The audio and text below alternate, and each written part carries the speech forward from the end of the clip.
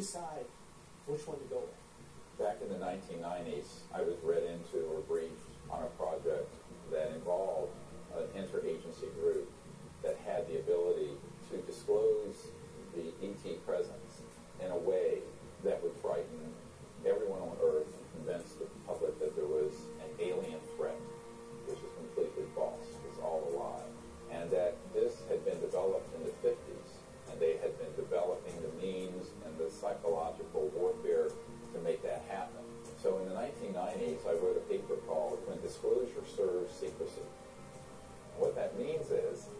two kinds of disclosures that might happen. A truthful one that is also a hopeful one, which is what I gave up my medical career to try to actuate do. And then there's the one that is spun by the spinmeisters in Washington and at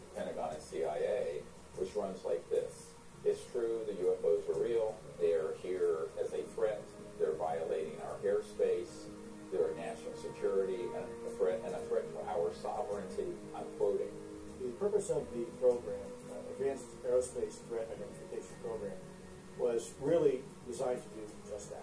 Uh, from a national security perspective, identify those things that we see and try to ascertain and determine if that information is a potential threat to national security. And we knew this was going to happen because I had met with people who were in these classified projects who were on interagency committees that had everything set to roll this out, and they were just waiting for the right time. The Soviet Union has ended. We have the global terrorism, while it's still there, it's not like it was around 9-11.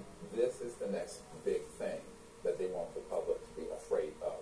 When a pickpocket meets a saint, his pockets. Or like if, if you're a hammer, everything looks like a nail.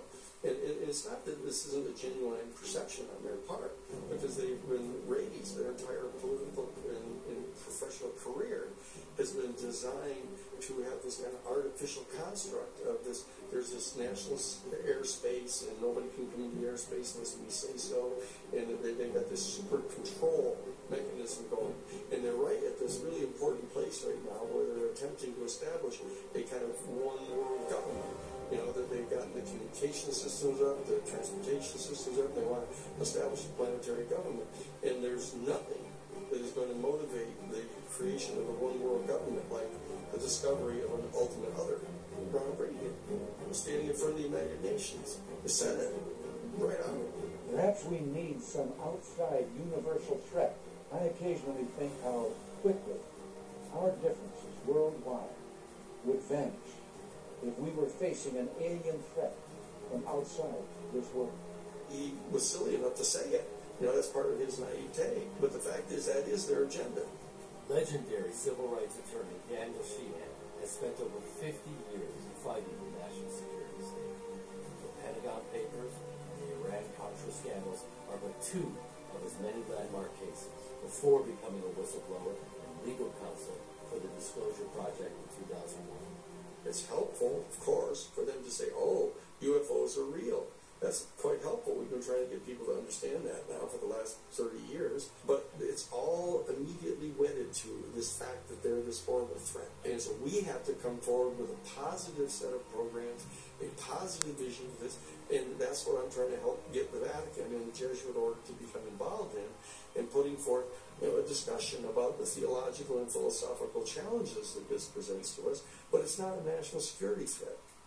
You know, it's not a threat to our species. It's not a threat to our planet. It's a threat to our view as ourselves as the the be all and end all that the entire universe was created as a stage on which to play out the human drama of uh, one single species. You know, that ain't so. But let's let's get used to it and let's figure out what the what the new story is. What is the new story? There's a positive story. What is our role in it?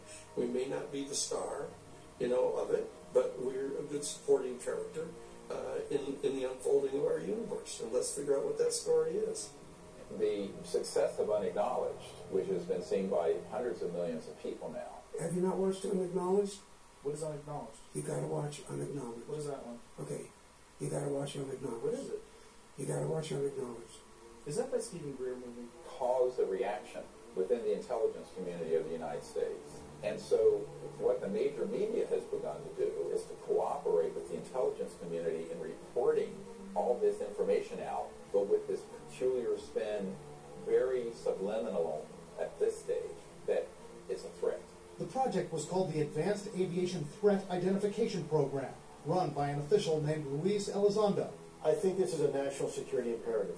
We have clear things that we do not understand how they work operating in areas that we can't control. One of my first cases uh, coming out of law school was for NBC to establish the right of journalists to protect their confidential news sources. I did the amicus briefs for the New York Times and the Washington Post and, and also for CBS and ABC. And it was at that time that I began to realize that there was this close working relationship between the board of editors of the New York Times and the national security community.